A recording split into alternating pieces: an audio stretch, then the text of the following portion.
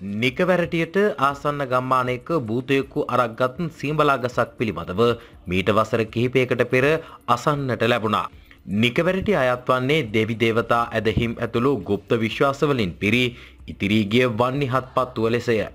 පාළු වැව් පිටියකට මායිම් වී ඇති එම සීඹලා ගස අද්දරින් යන විට එම භූතයා හඬනු සමහරුන්ට ඇසෙන බවද මෙහිදී දැකගන්නට හැකි විය. විශේෂයෙන්ම එම භූත හඬ ඇසෙනුවේ හැන්දෑවේ හිරුබැස යන යාමේ හෝ හිරුවෙලිය නොමැතිව හාත්පසින් අඳුරින් වැසී ගිය අවස්ථාවලදී. මෙම ගමේ කාන්තාවන් අපට මෙසේ පවසා සිටියා. ඒක හරිම මූසල සද්‍යයක් මහත්තයෝ හරියට බකමූුණේ කණඩනවා වගේ ඔය සැද්දේ මේ පැත්තේ හුඟ දෙනෙක් දැන් අහලා තියෙනවා.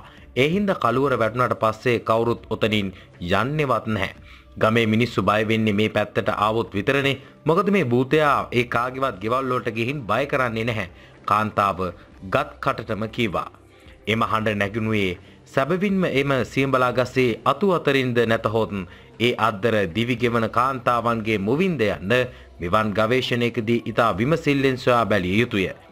ඒ අනුව ඔවුන්ගේ අකමැත්ත මත එම ගවේෂණය තවදුරටත් ඉදිරියට ගෙන යම සදාචාරාත්මක නැතයි අපට සිතුනී. මෙවැනි වීඩියෝ දිනපතා නැරඹීමට පහත බටන් එක ක්ලික් කර අපව සබස්ක්‍රයිබ් කරන්න. ඒ වගේම කුඩා සීනුව එබුවොත් අලුත් වීඩියෝ දාපු ගමන් ඔයාලට දැනගන්නත් පුළුවන්.